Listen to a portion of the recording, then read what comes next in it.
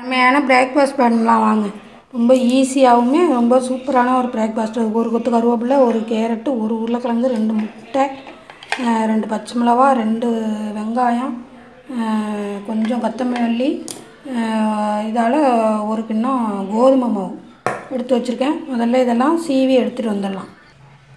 இப்போ இதெல்லாம் சீவு கட்டையில் வச்சு கேரட்டு வெங்காயம் உருளைக்கிழங்கு மூணையும் சீவி எடுத்துகிட்டு வந்துட்டேன். சீவுற கட்டையில் வச்சு ஒரு பச்சை மிளகாய் அரைஞ்சி வச்சுருக்கேன். இப்போ வந்து இந்த மாவை இதில் கொட்டி கரைச்சி எடுத்துக்கலாம். தேவையான அளவு உப்பு போட்டுக்கிட்டு தண்ணியை ஊற்றி நல்லா தோசை மாவு கரைக்கிற மாதிரி கரைச்சிக்கலாம் அதை. பாருங்கள் இப்போ தோசை மாவு பதத்துக்கு கரைச்சி எடுத்துக்கிட்டோம். இப்போ இந்த அரிஞ்சு வச்சுருக்கிறதெல்லாம் இதில் கொட்டிடலாம்.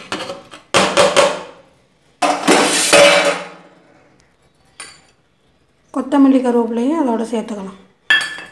சேர்த்து எல்லாத்தையும் நல்லா கலக்கிடலாம். இது கூடவே கொஞ்சோண்டு கரம் மசாலா தூள் லைட்டாக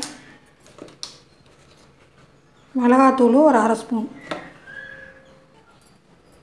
மஞ்சள் தூள் கொஞ்சம். எல்லாத்தையும் போட்டு நல்லா கலக்கிடலாம்.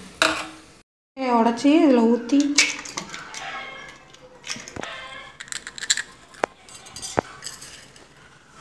மிளகும் சோம்பும் நுணுக்கி வச்சுருக்கேன். அது கொஞ்சோண்டு போட்டுக்குவோம். ஒரு அரை இதை நல்லா கலக்கிக்கலாம். கலக்குனதை இதில் ஊற்றிக்கலாம் அந்த முட்டையோட சேர்த்துக்கலாம். நல்லா கிண்டி விட்டு ஊற்றி எடுத்துக்கலாம். இது மாதிரி நம்ம ஊற்றி எடுத்துக்கலாம். ரொம்ப டேஸ்ட்டாகவும் இருக்கும். ரொம்ப சத்தானதும் கூட. இது மாதிரி ஊற்றி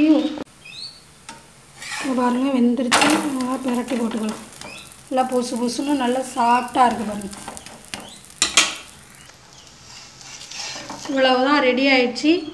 எப்படி இருக்குன்னு பாருங்கள் இந்த தோ- தோசை. ரொம்ப சூப்பராக ரொம்ப டேஸ்ட்டாக ரொம்ப நல்லாயிருக்கும் இங்கே பாருங்கள் அருமையாக இருக்குது பாருங்கள் இந்த தோசை. நீங்களும் இந்த மாதிரி செஞ்சு கொடுங்க. இங்கே பாருங்கள் எவ்வளோ சாஃப்டாக இருக்குது பாருங்கள் குழந்தைங்க ரொம்ப விரும்பி சாப்பிடுவாங்க. நீங்களும் இந்த மாதிரி செஞ்சு கொடுங்க. ரொம்ப அருமையான பிரேக்ஃபாஸ்ட் ரெடி நீங்களும் ட்ரை பண்ணிவிட்டு கமெண்ட் பாக்ஸில் சொல்லுங்கள் இந்த வீடியோவுக்கு ஒரு சப்ஸ்கிரைப் பண்ணுங்கள் அப்படியே ஒரு லைக் போட்டுடுங்க. தேங்க்யூ